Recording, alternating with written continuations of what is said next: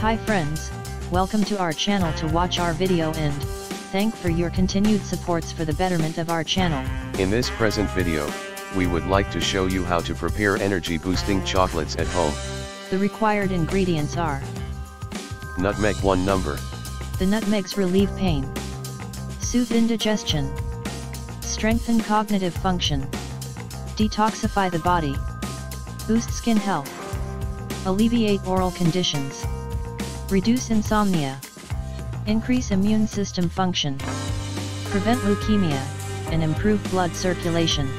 a little quantity of poppy seeds, These poppy seeds are a source of fiber, magnesium, calcium, and healthy fats.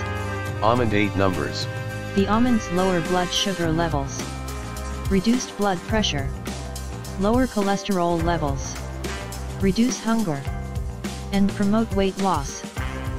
seedless dry dates 8 numbers, The dry dates have potential anti-diabetic, anti-inflammatory, anti-tumor, liver protective, kidney protective, antioxidant, and antimicrobial properties. dry grape 16 numbers, The dry grapes are rich in fiber, vitamins, minerals, and they are an excellent source of iron. First of all, the whole nutmeg is to be ground. Place the ground nutmeg, poppy seeds, almond, seedless dry dates, and dry grapes into the mixie grinder. Grind them thoroughly to get the mixture of all the ingredients. Make energy boosting chocolates in the form of small balls from the mixture.